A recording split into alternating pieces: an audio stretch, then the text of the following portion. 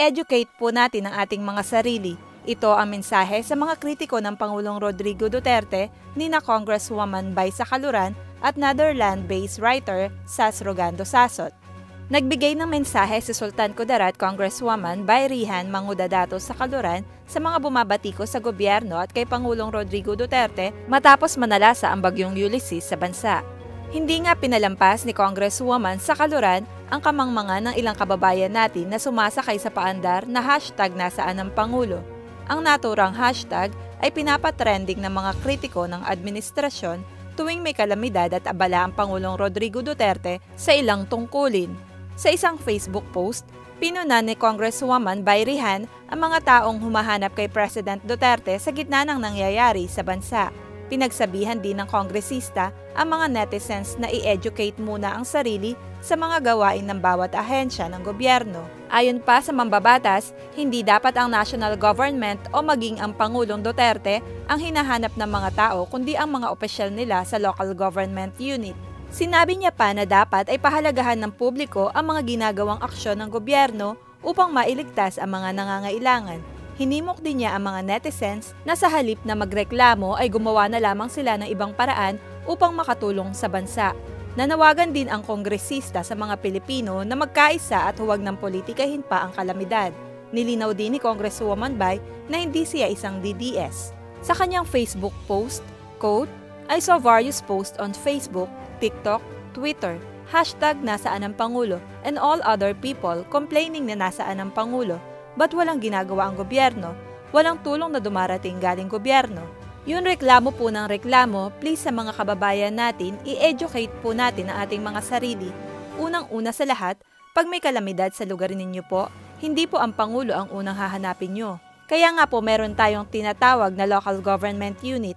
Nandyan ang barangay kapitan, DRRMC, PNP, BFP, municipal or city councilors, municipal or city mayors, sila po yung una natin tawagin, hindi po ang Pangulo. Sila po yung unang-una na mag action at nandiyan para sa ating bayan. Pangalawa, sana i-appreciate po natin ang hirap at pagod ng ating mga leaders and other government line agencies po. Philippine government is far from being perfect but everyone is doing their job and best.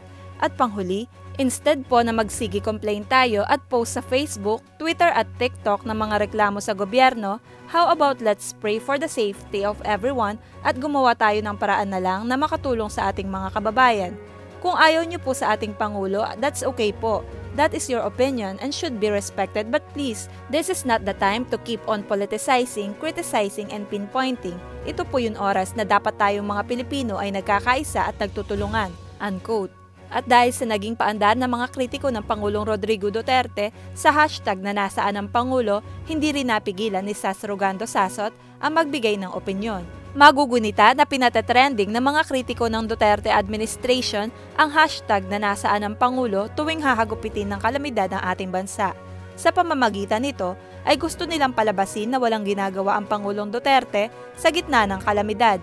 Ang paandar na ito ay agad sinupalpal ni Sasot Ayon sa kanya, nasa batas na ang dapat mauunang re-responde sa mga kalamidad ay ang mga itinalagang local government units o LGUs. Sa kanyang Facebook post, quote, Republic Act 10121 or the Philippine Disaster Risk Reduction and Management Act of 2010 designates LGUs as the first responders in the occurrence of natural and man-made calamities. Kiber sa sistema, Digong, ikaw talaga dapat ang first responder. Ikaw na rin ang mag-fundraising, mag-pack ng relief goods at mag-distribute. Ikaw na rin ang maglinis ng kalsada. Unquote. Ang paliwanag na ito ni Sasot ay halos kaparehas din na naging paliwanag ni Congresswoman Mangudadato sa Kaluran kaugnay sa issue. Samantala, may naging sagot si Pangulong Duterte matapos muling mag-trending sa Twitter ang nasaan ng Pangulo. Patawarin kayo ng Diyos, ito ang sinabi ng Pangulong Duterte sa kanyang mga kritiko ipinaliwanag din ng Pangulo na nagtatrabaho siya at mga miyembro ng kanyang gabinete habang nananalasa ang bagyong Ulysses nitong linggo. Dagdag pa niya, dumalo rin siya sa 37th ASEAN Summit. Marami pong salamat sa inyong panonood. Huwag niyo pong kalimutang mag-like, mag-komento at mag-subscribe.